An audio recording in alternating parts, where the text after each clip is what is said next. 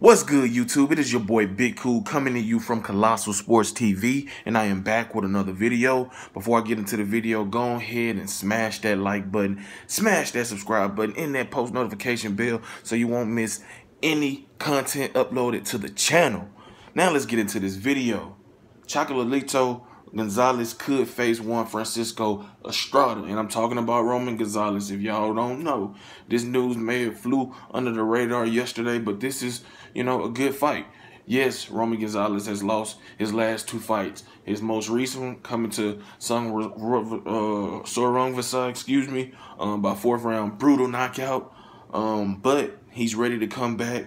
Juan Francisco Estrada is coming off of a loss to uh, Sor Rungvisai a close decision loss in an excellent fight. He was hoping to be able to get a chance to avenge, um, you know, that loss. And he was expected to headline um, the card against, uh, you know, Sor Rungvisai, uh, the Superfly 3 card. But that's not going to happen because according to Tom Loeffler, um, Sor Rungvisai has is, is, is, has instead elected to fight in Thailand, his home country. He will be back in the States next year. So that leaves Estrada without an opponent. And without a proper opponent, who want to see him face Carlos Cuadras again? That was a good fight, but nah, not yet. Cuadras needs to bounce back. Um, Arroyo, mm, maybe he's in line for a title shot, so he's not going to try to risk that against Juan Francisco Estrada. So that brings to um, me, in my opinion, Roman Gonzalez. Perfect opportunity. Estrada has been long has long wanted a rematch with uh, Roman Gonzalez. They fought in a very uh, good fight a few years ago. Um, he's been chasing Gonzalez, and now this is the perfect time. Obviously, the roles are reversed because Chocolatito Gonzalez isn't what he used to be, but he's still a very capable fighter. Juan Francisco Estrada, Estrada has been in his wars.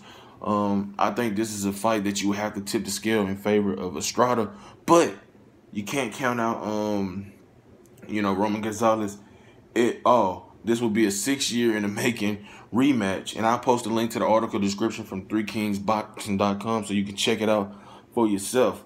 Um, but if this fight does go down, it will be September 8th at the Forum in Los Angeles, according to Tom Loeffler. You know what I'm saying? So, I mean, I think that it's a good fight. I think it'll be a great fight for however long it lasts. I think that um, both guys have some unfinished business, and I think that people would be receptive. People love Roman Gonzalez, um, not over, not only over there in his home country of Nicaragua, but they love him over here in the States. Uh, he's a future Hall of Famer, a great fighter, former pound for pound number one in the world, and he's looking to snap a two-fight losing streak. You know what I'm saying? And what better way to do it against a guy that you beat six years ago um, in a title fight, in an excellent fight, and kind of, you know, can dispel the notion that you were past your prime or you've seen better days and you're no longer uh, as relevant as you once were. So I look forward to this fight. If it happens, it's a good fight. It's a fight you can't complain because you know they're going to bring the action and you know the undercard is going to be stacked regardless of who headlines and who opens up the card and who's the co-main event. Um, so um, ThreeKingsBoxing.com will keep you updated as more concrete information comes out. Uh, shout out to everybody in the movement that is moving with us. Be sure to check out ThreeKingsBoxing.com for your latest and greatest updated, unfiltered, and unbiased boxing news reported the way it should be. Leave comments in the comment section down below. Give me your thoughts on this potential rematch and who do you favor. Shout out to my boy CJ from the Boxing Clinic and more. Until next time, I'm out. Peace.